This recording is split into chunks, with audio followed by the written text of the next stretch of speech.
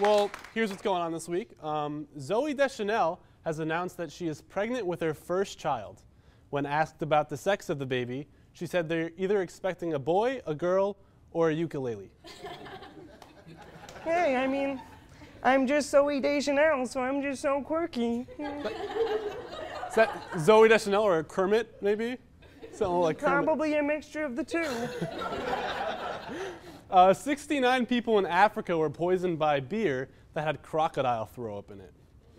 Uh, that's right, beer with crocodile throw up, or as Steve Irwin called it, beer. we love Steve here. Uh, the New York Fire Department ruled the fire that disrupted a few subways in Penn Station to be suspicious. Here's a list of other things ruled to be suspicious in Penn Station.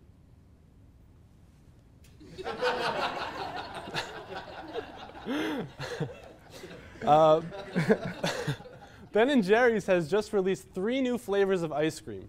When asked why they would release frozen desserts in winter, Ben and Jerry's responded, "The cold never stops stoners anyway."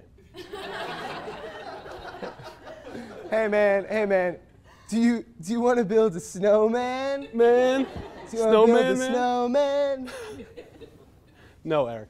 Okay. A group of fourth graders plotted to poison their highly allergic teacher with hand sanitizer. The students failed, proving the fact that hand sanitizer only kills 99.9% of germs in teachers. Dave Matthews Band has just announced that they will be doing another summer tour. So get ready to see a whole lot of your dad in open toed sandals and a college t shirt.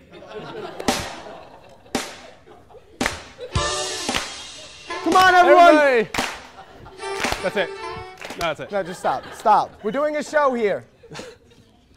President Obama interrupted and relocated a wedding in Hawaii because he was playing golf in the same area.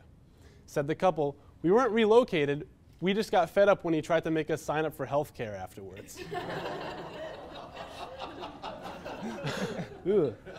Um, a telephone scam arose in New York as New Yorkers received calls saying that one of their family members has been kidnapped and will not return unless they pay a ransom fee. This is either the worst scam in history or the worst promotion stunt for Taken 3. I will find you, and I will kill you. Is that like Liam Neeson and Batman combined? Um, wait, wait. Let me try it again. Um, I will find you, and I will. no, that's no, no, no. Think that was Hover, yup. all right. We're gonna move on. Forget from that. it. Uh, Forget it. And finally, uh, Macklemore went to Sesame Street recently to sing a thrift shop parody.